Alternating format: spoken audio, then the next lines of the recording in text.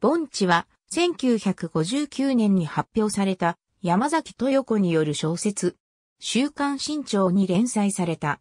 単行本は新潮社から上下2巻が1959年と1960年に刊行された。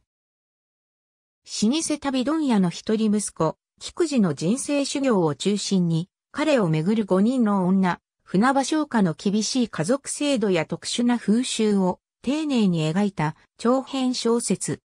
盆地とは、船場商家の跡取りに対する呼び名の一つで、単なるボンボンとは異なり、宝刀を重ねてもピシリと帳尻のあった遊び方で、地に足がついたスケールの大きなものに与えられる愛称。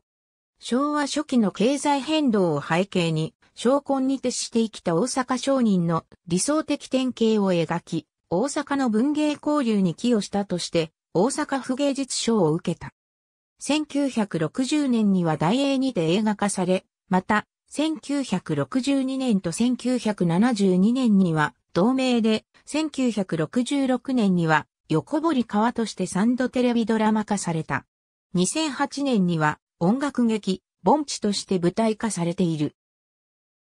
最初の映画が完成した際、死者を見た原作者の山崎豊子は、しみったれた主人公に描かれていることに不満を漏らし、監督市川婚の盆地であって、自分の盆地ではないと感想を述べた。制作、配給は大英。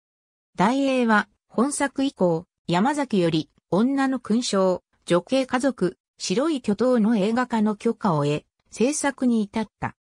ネットで1962年1月4日同年6月28日に、毎週木曜21時15分21時45分に放送。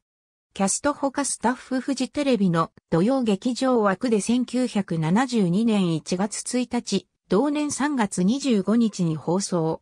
土曜劇場が元日に放送されるのは本作が唯一。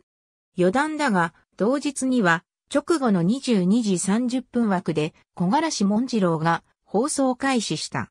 キャスト他スタッフ2008年4月3日から4月21日まで、木の国やサザンシアターで行われた、沢田健二主演の舞台、音楽劇である。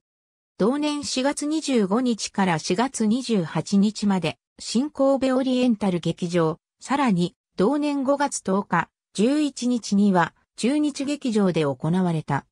盆地に関するカテゴリー、盆地に関するカテゴリー、盆地に関するカテゴリー。ありがとうございます。